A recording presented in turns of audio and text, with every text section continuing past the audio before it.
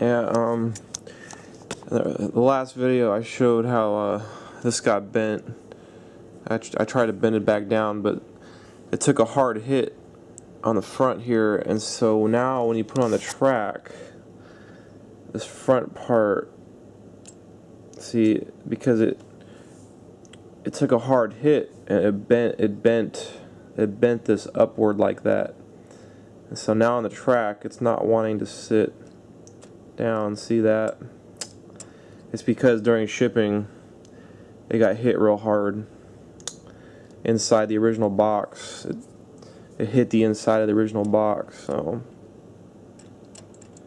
I'm gonna have to try to bend that back down. But that, that happened during shipping. Well, that damage. Um,